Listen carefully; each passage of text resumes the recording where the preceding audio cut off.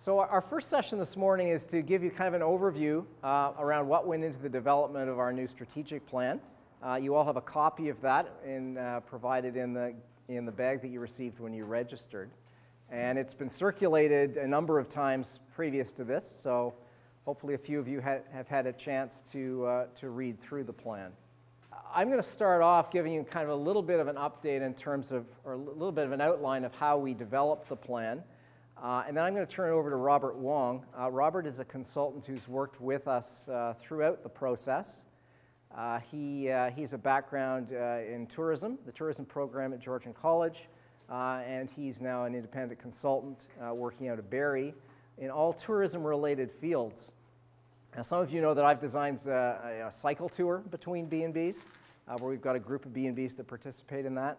Uh, and so I kind of met Robert through uh, some of that. He's done a lot of surveying and uh, helped the area people develop cycling products. Uh, he's you know, surveyed uh, different uh, music festivals this summer, which has been a hot issue up in our area. So there's lots of, you know, lot, lots of interesting things we worked on together. So as we got into this process with a strategic plan update, we thought Robert could help us with some, especially with some of his surveying experience, because we wanted to find out more about the industry. No one had ever done a B&B industry survey. Uh, so we, uh, we put something together. Uh, I think mine was 93 questions long. And Robert told me that was far too long and no one would ever answer all those questions. so I think we carved it down to about half that number, uh, which I'm told was still too long. But that's what we went out with. Uh, we worked closely with BB Canada. Uh, they were very helpful. So we were able to access uh, 2,000, uh, about 2,000 B&Bs through BB Canada. And uh, Robert will provide you with an overview of, of some of those results. And uh, a summary of the results is also posted on the FOBBA website. So maybe you've seen that. Uh, at last year's FOBBA conference, uh, we did have an opportunity to sit down with our members. We had breakout groups, five different questions that you were asked to comment on. And the answers to those questions were very helpful to us as we tried to prioritize what FOBBA should be doing and what FOBBA shouldn't be doing. Um, we then uh, put, I guess in March, we had a workshop where we brought together all the results of the industry survey, what we'd heard from our members. Uh, and the workshop included the board, some past board members, uh, some FOBBA members who were not on the board, so we had a selection of B&B operators, Robert facilitated it. Uh, we had BB Canada there. Uh, we had Ministry of Tourism there, uh, Resorts of Ontario. Uh, so it was, a, it was a broad group of people, uh, a full day workshop, kind of looking at the results of the survey, what were the strengths and weaknesses of FOBBA, what were the strategic issues we should be focused on. So we came out of that workshop with kind of five, five issues, five focuses and, and we developed then a number of specific action steps and a time frame around how we wanted to address those things. And that's what's, that's what's set out in the, in the strategic plan um, that was, I guess, circulated to you originally back in the summer. Um, so I have heard back from a number of FOBBA members, and, and I have made some revisions to the plan. Uh, nothing major, so that's good news. Uh, hopefully that indicates there was kind of wider acceptance of what we were proposing to do. Uh, so we're going to go through flip to the next slide. Um, so we're going to go first through just kind of an overview of what the, what the industry survey told us, because there were uh, some fairly surprising results. So I'll turn it over to Robert for that. Not only have I been involved in tourism over the years, many, many years, maybe many decades, I've also have had the, um, the opportunity to enjoy bed and breakfasts in Canada, in Ontario, and around the world. And I think of a number of the things that Sean mentioned yesterday was about, you know, really figuring out what your capacity and your capability is. And I was just thinking of a, of a um, experience I just recently had in Vancouver, where we stayed at a bed and breakfast. And the capacity and capability was our host, Malcolm.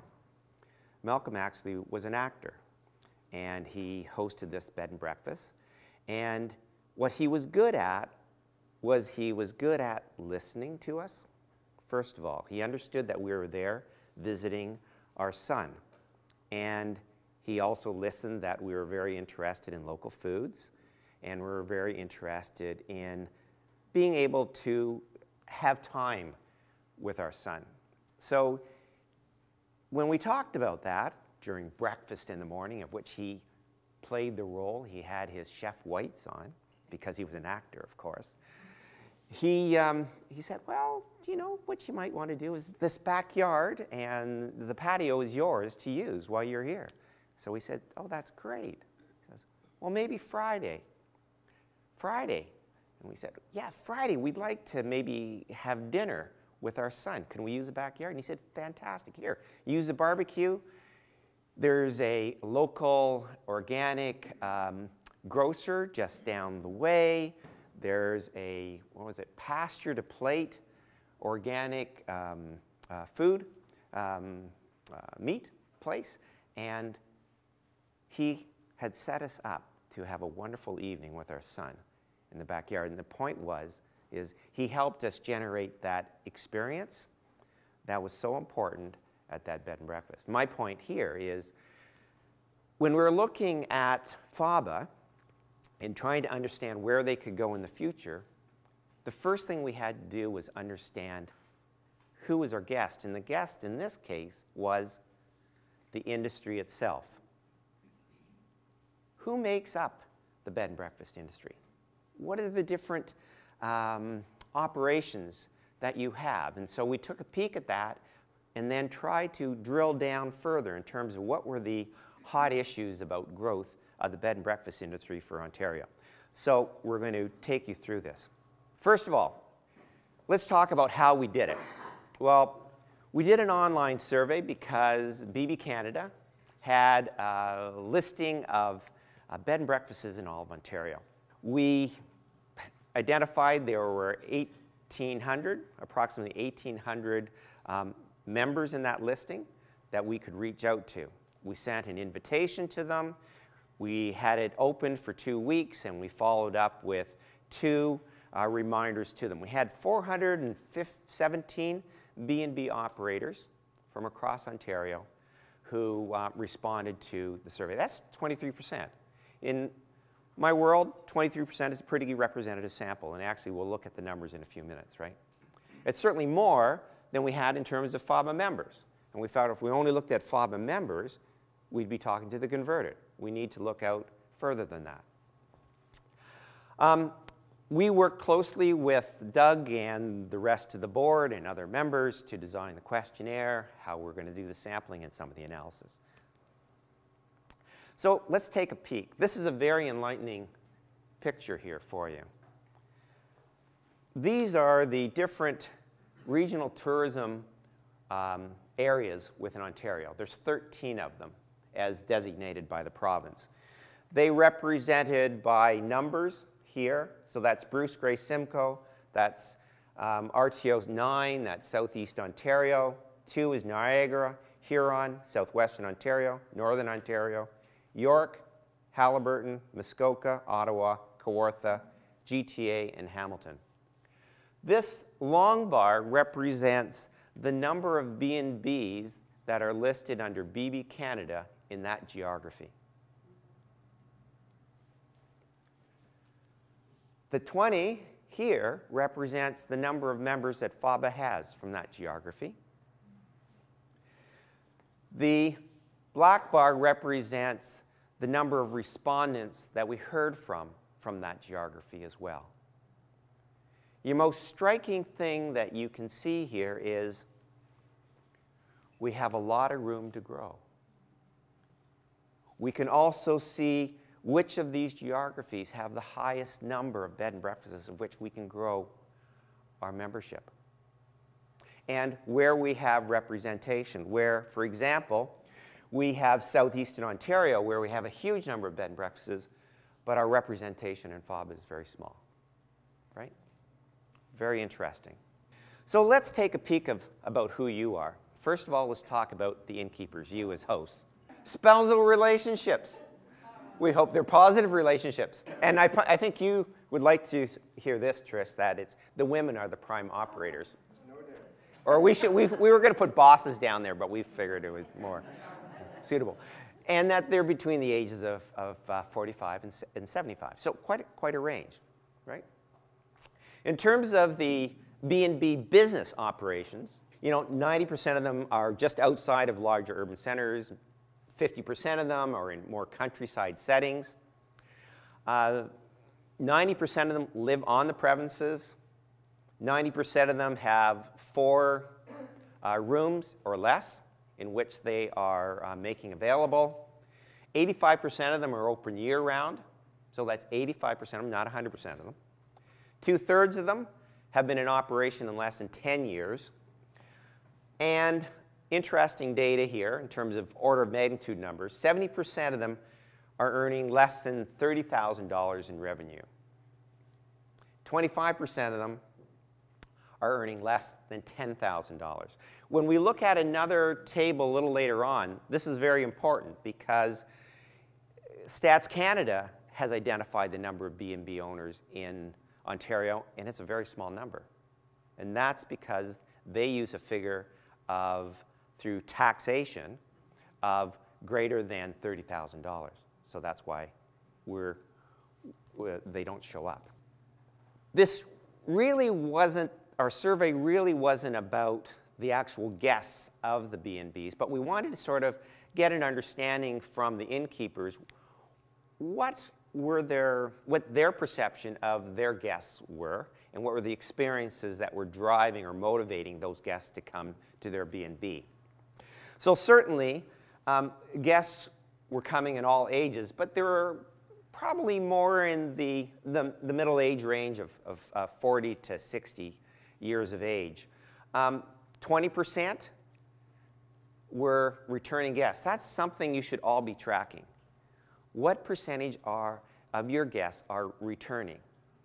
Every year, every three years, within that every three year period, right? Obviously, that's something you want to grow. Where are they coming from? Approximately 80% were coming from Ontario. If we look at tourism in Ontario, that's about right. 80% of our visitation is from uh, Ontario residents traveling within Ontario. This year, it's a little higher because of our dollar because of our dollars much uh, lower compared to the United States and to uh, international markets like Europe, we're a very attractive buy right now. In terms of rest of Canada, it depended upon the different B&Bs, whether that was 5 or 20%, and whether some of your market um, visitors were from um, overseas, the US and, and overseas. And it could range from 1 to, to 20%. I know some in, let's say, Tobermory, uh, the, the um, north, well, in the Grey Bruce area, they almost have in the order of 60% that are international because of the way they've catered their and targeted their property. This is just a, a based upon input from the various businesses. Their international guests, UK, uh, the US being first, UK. This pattern generally replicates the pattern of visitation to Ontario for international visitors. That matches it just about perfectly. What are the guests' experiences? What are their motivators? From your point of view, you said, well, it's that more personalized and that friendly experience that they're gaining at your bed and breakfast. It's that, that story that I told you at the beginning. It's that full breakfast that's included it offers that local atmosphere, and these are things that Sean had mentioned yesterday as well. And possibly you have something unique in terms of the architecture of your particular home. We asked about your marketing activities. This was interesting. 75% use some form of advertising. We always question, what are the other 25% doing? Right? 72% had a, their own website. 50% use social media. 46% said they didn't use any social media at all. Traditional print media was used, mostly rack cards, in a relationship with the destination marketing organizations or a local B&B association. And um, only a few, only 20% had worked with the regional tourism organization in their area. Most interesting as well, that 69% we're actually packaging their property with some of the other attractions within the area. Something uh, brought up yesterday when Sean was here the importance of partnerships, right? So this is just replicating what that, those points are over there. Peek at the future. Well, 48% said that they expected their business to increase. This is good. Uh, 77% expected to continue to operate their business over the next two or three years. But interesting, 16% expected to sell within that time period, and an additional 7% expected to close. And this is some of the challenges associated with FOBBA is an attrition factor that's happening. Bed and breakfast owners get into, seem to get into this at a latter um, career of their lives. And then at a certain point, they say, I'm going to totally retire now, and then they leave. And they're not necessarily selling their business, they're leaving the business. And therefore, that leaves gaps, right? And that was important to figure out. Top issues facing all of you increasing regulation, accessibility legislation that was coming out, and what was the impact having on your particular business, um, the regulatory reaction to uh, Airbnbs by the municipalities and how that was sort of influencing it, the increasing costs that you have, the technological changes, and the social media use. Can I keep up? Do I want to keep up with those sorts of things? And an interesting one that came out was the guests that you have seem to have a higher expectation. And it's being harder to meet those expectations that they're providing to us. And therefore, who's delivering or, or what type of messages are we getting out to those, those guests that are coming? So that was sort of the research. And we took all that information and then we had to distill it. Because what we do best is we take tons of information, we got to distill it. What does it all mean? And so, as part of that, we did a situational analysis. The first thing we had to do was look at what's happening in terms of membership in FOBBA. This is not a good news story at this point in time. 2009, we're at 202 and we've steadily declined in 2015 for a number of different reasons. There were, and there's a difference between, because things keep changing, five or six local associations of which we had 20 B&B operators actually represented. I'll show you another picture of that in a few minutes. Stats Canada has identified there are 377 B&Bs in Ontario. Well, that's certainly more than what we have. But we know that's not true because BB Canada, at the time when we did this portion of the work, had 1,954 Ontario B&B operations. So there's a huge gap between here and there. And with the um, survey, we identified 244 new introductory members. We offered that as part of the survey to bed and breakfast owners if they wanted to become introductory members of FOBBA, and we had 244 member or B&Bs identify they were interested. And then the last point in black was, out of all of those, how many other available units or rooms are being available through Airbnb that aren't even being touched by these, okay? This was just the local associations. This is showing with these associations, that represents 242 B&Bs, but really with these associations, we only have 20 of them, those businesses, that are part of FOBBA.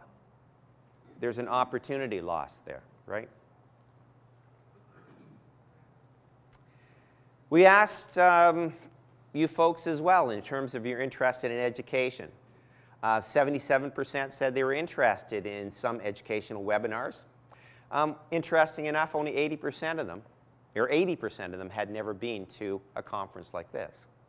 An opportunity as well to grow. These were some of the topics associated uh, in their interest for education. website presence and marketing, social media, tax matters, customer service, and introducing uh, the operations of B&Bs. We'd also had an open-ended question to uh, bed and breakfast um, operators about what they felt the value that FOBBA could offer to them as a member. And they talked about cost. Um, there are some issues around cost. Uh, if I'm a B&B operation, I have many different costs, and I you know, belong and associated with a number of different organizations. Which organization is going to deliver the most value to me? Um, some said that they would love FOBBA to be the voice of the industry. They felt that FOBBA should have more visibility, and if it was better recognized by the B&B owners, that would be useful, as well as, more importantly, guests. If they knew the value that FOBBA offered, then they would recognize then FOBBA as the voice of the industry. And last point was the need for um, a role to be played by an organization to advocate on their behalf, whether that's related to um, Airbnb or accessibility legislation or whatever, whatever. They said that was an important gap to be, to be um, filled. And these were a number of different things that were talked about. So we took all of that information, then we distilled it. And we had a number of different strengths, weaknesses, opportunities, and threats that were discussed at this workshop. And this was developed through the activities of the workshop. We'll just cover a, a couple of them. Certainly, there was a strong history of successful advocacy related to, let's say, the Walkerton and the, and the water quality issue years ago. Could FOBBA play that role again? Um, they had now stronger operational standards that they've got sort of the kinks worked out of it, and it was in place. The board was expanding. They had some alliances with Resorts of Ontario that were were starting. They now had information with regards to the industry itself and therefore more knowledgeable, and that we had 244 new introductory members, and that in some cases a few municipalities have consulted with FOBBA with regards to bylaws in their municipalities with regards to um, Airbnb and therefore FOBBA was playing a role in that case, and that the website was updated. So those were all some of the positive things that are happening.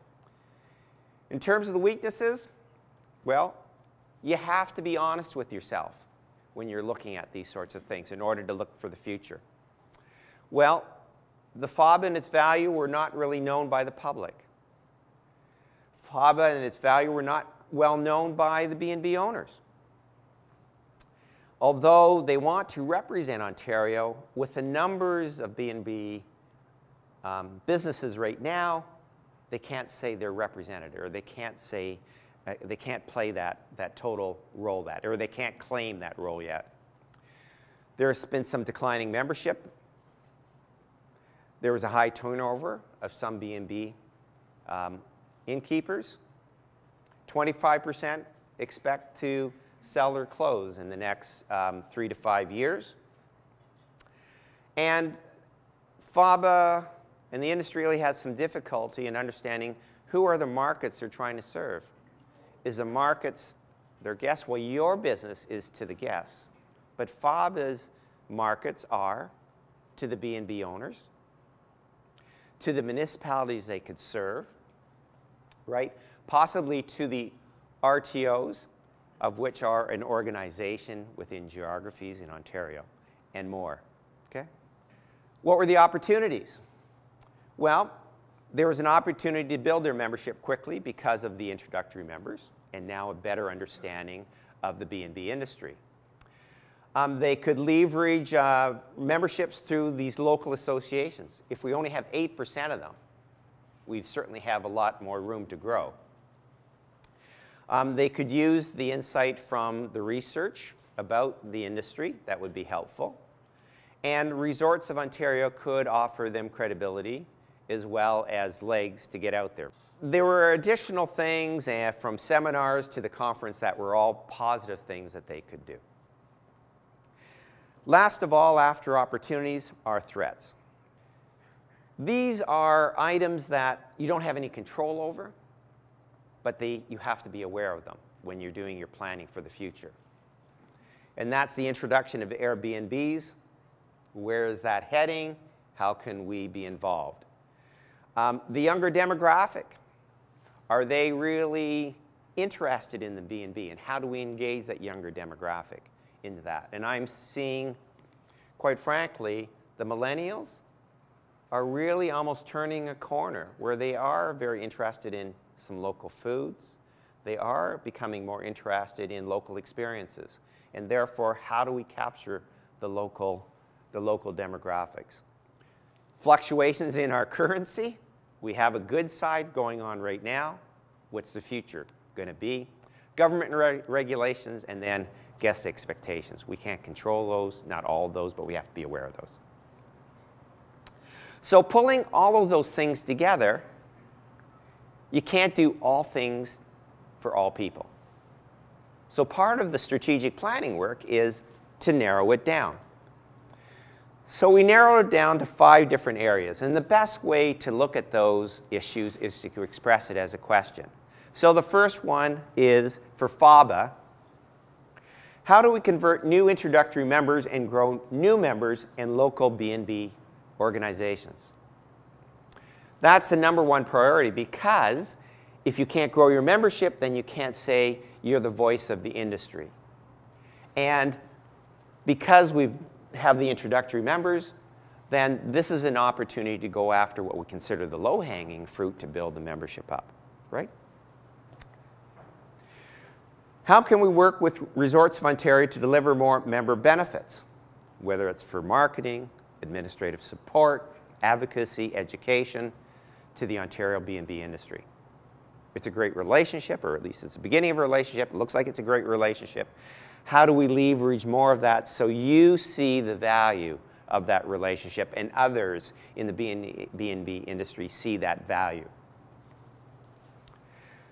Seems to be some lots of discussion in the past with regards to the inspection and rating system. What should we call it? How does the public view it? How do the B&B industry view it? And we certainly talked about that is considered one of the values that FOBBA offers, but we have to communicate that better.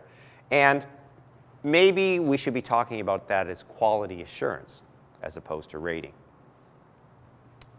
Fourth, how can we enhance the brand with the public, the RTOs, the DMOs, municipalities, and the provincial government?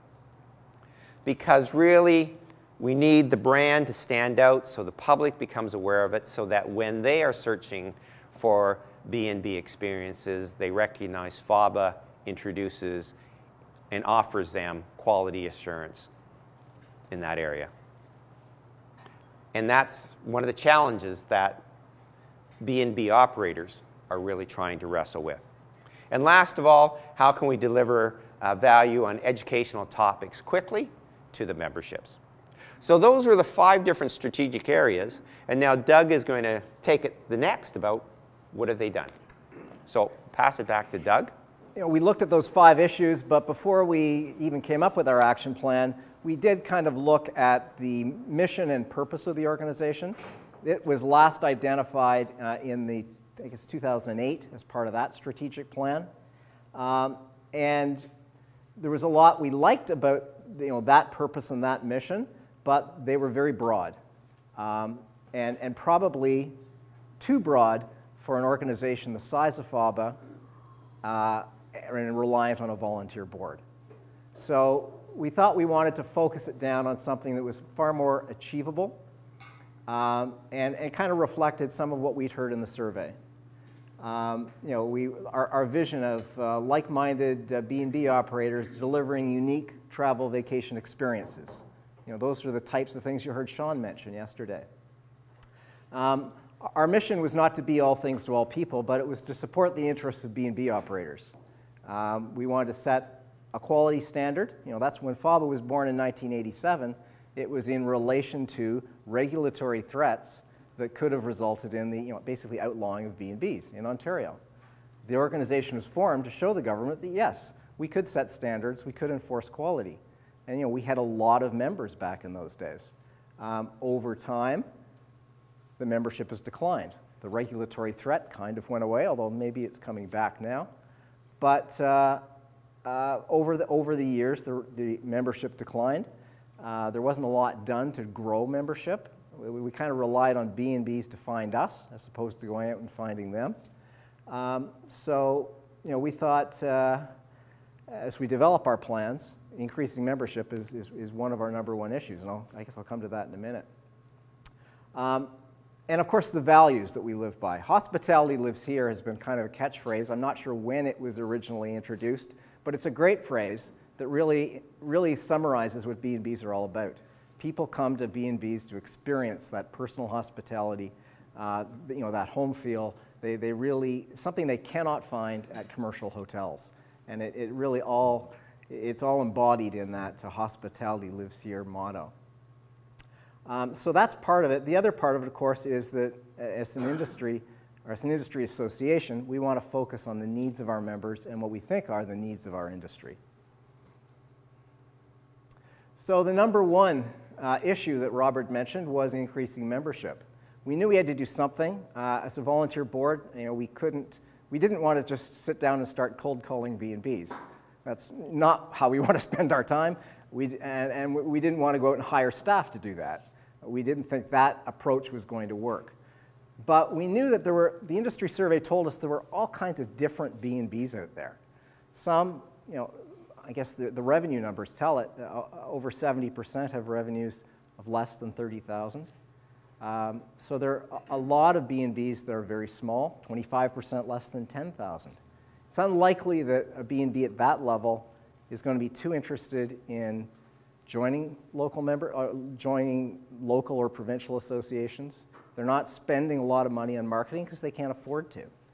Um, but some of the larger organizations, or some of the larger B&Bs, will be interested in you know, what they can get out of a, of a provincial or local association, uh, some of the interesting marketing things they can do.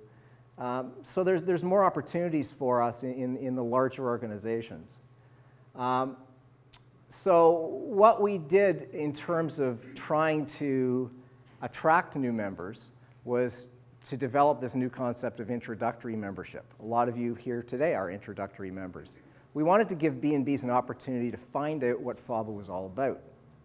Um, you know, rather than have people join and have to go through the inspection process and rating process up front, uh, take a year, find out what we're about, get our newsletter, uh, learn what you have to do to prepare for inspection, and then decide whether you want to become a member or not.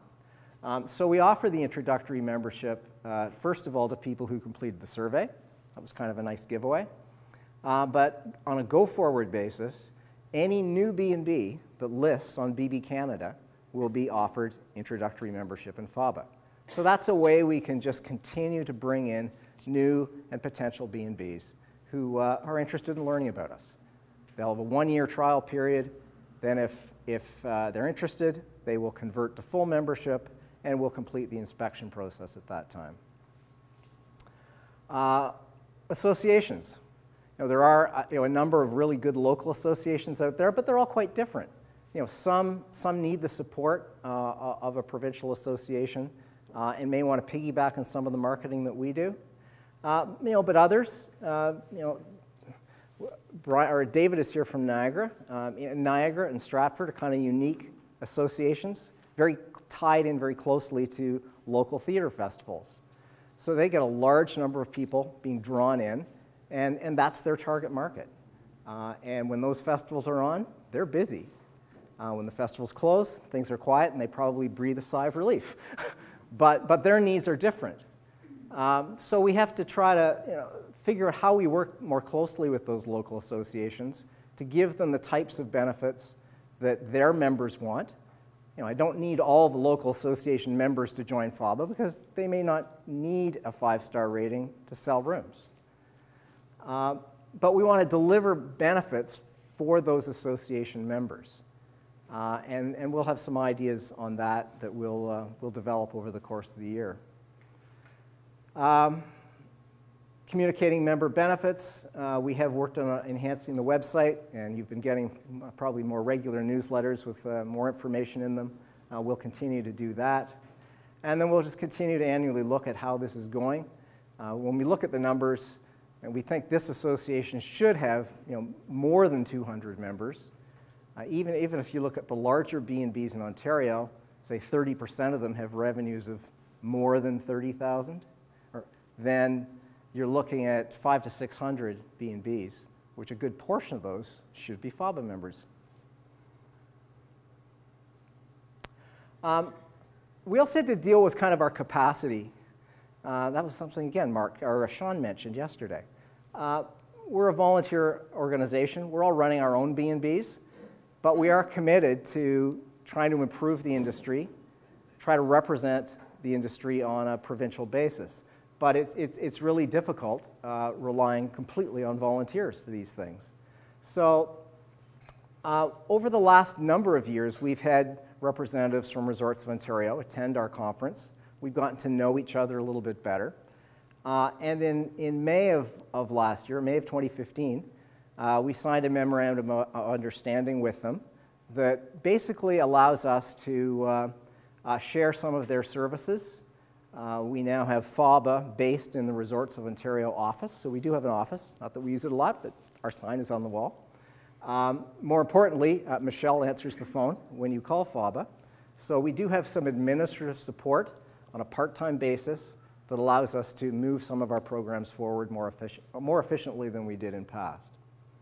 Um, we wanted to give our members the ability to do more marketing if they chose to. Not all members have a budget or a desire to market their B&Bs, but some do want to spend money and do want to attract the type of guests that you know, fit into the, the vision you have for your B&B. Resorts of Ontario has a, a numerous different marketing programs, and you as an individual B&B can buy into those programs should you choose to do so. And Grace is going to be on later this morning to talk about some of those programs. Um, so I'll, I'll, leave, I'll leave that to her. Um, the other area we looked at was the preferred supplier program. Doug Rollings is here. Uh, we've just launched that, but it's a great, it's an easy way to give our members access to some of the uh, preferred suppliers they've got on their list. And joint conference. Uh, Diane and I both attended the, uh, the Resorts of Ontario conference last April.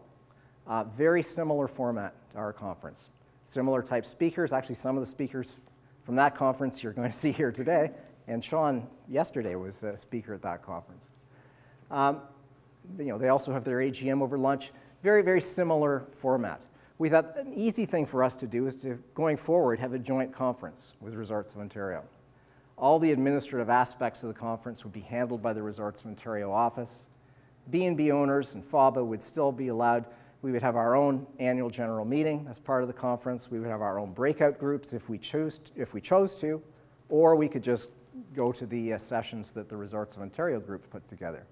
So it still gives us a lot of flexibility, but it removes all that administrative you know, overhead or administrative time that the volunteer board has to, has to, uh, has to take on. And that's not really where we want to spend our time. Uh, you know, we'd rather spend our time doing the things that you think is important. So if this is a more efficient way we can do our annual meetings, this, this is what we're going to pursue. Uh, the star rating. You know, if we are, if we are asking FOBBA members to go through our, first of all, subscribe to a level one inspection or level one, you know, level one standards and quality, that you need to, you need to go through that just, just to become a FOBBA member, but we then move on to level two, where we've developed and, and over the last few years refreshed a sort of an amenities-based rating system uh, that is designed to you know, award a star, a star rating to the organization anywhere from one to five. Um, and it's to give you something that you can then use to market your organization, to give the public some indication of, of, what type of a B&B they're going into. Um, many people are motivated by uh, they want something quick and convenient. you know, maybe two, three stars, maybe five stars is what they're looking for. But it's a way to kind of communicate to the public what, they're, uh, you know, what they can expect from this B&B. And uh, used properly, I think the five-star rating system can be very helpful to individual B&Bs. But it's not helpful, or not particularly helpful, if the public doesn't know about it.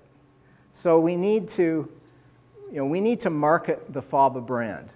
We need to make the public more aware of you know, what we're all about, you know, what, what the name means, what the five-star rating system means. Uh, and so that means uh, we want to spend some additional time advertising FOBBA itself, um, you know, enhancing, I say, our online presence, uh, and maybe some, coming up with uh, a new print, brochure, or rack card that can be distributed through our member B&Bs, through some of the trade shows that Resorts of Ontario attends, through the Ontario Travel Information Centers. There are a number of ways we can distribute that. Um, I think a lot of our marketing plan is also based on piggybacking on what Resorts of Ontario does. They are, Grace will correct me if I'm wrong, I, I kind of call you a, a digital marketing organization where they're all about attracting travelers to their site trying to sell experiences to the guests and push that out to the member resorts. So they generate traffic for the member resorts. FOBBA wants a bigger place on that website so we can participate in some of that traffic. We'll, we'll, we'll send visitors to the FOBBA website and to your individual websites. So that's ki kind of our objective over the, next, over the next year, to put something like that in place so we'll do more digital advertising through Resorts of Ontario.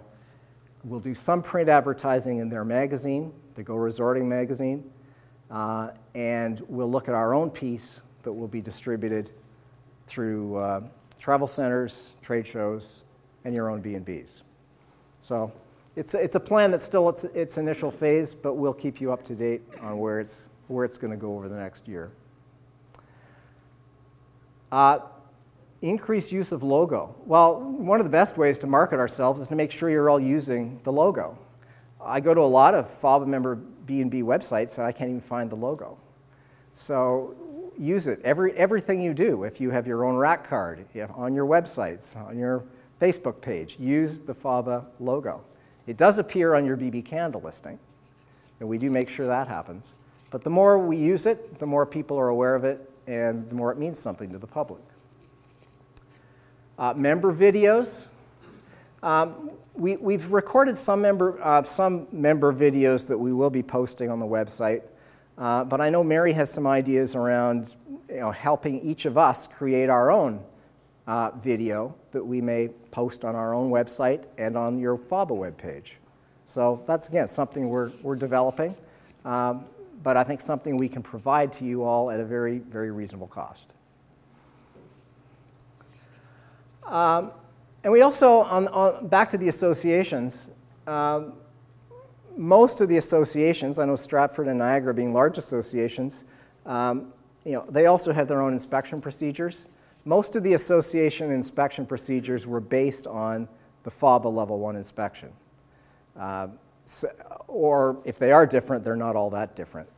We want to make sure that our procedures are aligned with the associations there's no point, you know, if I've got someone from Niagara who wants to join FOBBA, there's no point starting at ground zero. I might just as well accept what they've done in Niagara, you know, and, and then just look at the star rating if that's what they want to do. So working, working more closely with the associations, I think, will, uh, will help us with our partnership there. Um, advocacy. Yeah, as I said, this is where FOBBA was born, sort of issues around regulation. And they are, uh, they are becoming more and more important to us. Uh, we had four or five municipalities contact us this year, all proposing new regulations, all as a result of complaints uh, raised because of Airbnb, B&Bs. Um, so Dawn will have more to say about that later this morning.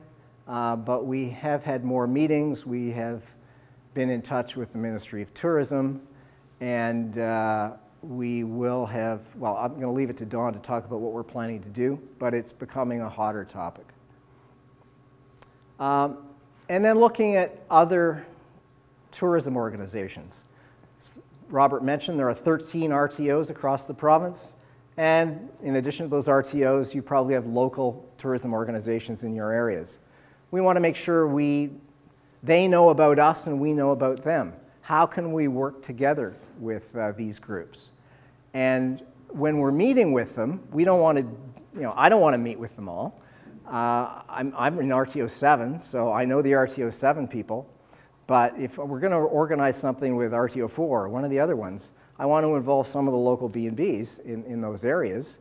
And you know, let's, let's talk about what the priorities are in RTO 4 and uh, whether B&Bs can play a role. So that's, again, something promoting our partnerships. Member education. Um, I think two newsletters ago we sent something out on changes we'd made to the website. There are a lot more webinars now available on the website, and there's a lot more information in terms of where to go. Uh, bedandbreakfast.com has considerable number of, of webinars, and you can easily access them via our website. Um, there's a, a, whole lot of new information for aspiring uh, B&B owners on the public pages of our website. Um, there are numerous people offering courses. Some are in-person courses, some are online courses, but uh, lots of really good information there. Um, we are recording today's sessions. Those of you who've been to FOBBA before, we've, we've never recorded before. But we are recording some of the sessions and we'll post these on the website so people who didn't attend the conference can access uh, these sessions. Uh, and we'll continue a joint conference with Resorts of Ontario, similar format to what we do now. And we'll try, you know, we'll try to keep the website content you know, up to date and relevant. So what, what will FOBBA be going forward? Well, you know, we need at least 200 full-time members. Um, I, think it, you know, we, we, I think with the efforts we're going through, we can start to build that back up again. Um, we want a number of local associations who are willing to work with us. Uh, we want to be able to demonstrate those associations there is a benefit to their members of, of at least having their local association as part of FOBBA. Uh, we will maintain the commitment we have right now to quality. Uh, we will maintain the star ratings, and we, but we want to make sure that they are important and relevant to our guests. So we've got to, we've got to market FOBBA a little bit better than we have in past. And uh, I guess, the industry voice. We want to continue to speak for the industry, which means we're, you know, we're a minority number of B&Bs, but I think we will consult with associations. We will do what we can to at least speak for the industry and try to raise issues that we think are important and maintain our relationship with industry partners. So there's, there's a quick overview. Um, there's more information certainly in the, in the package that we handed out.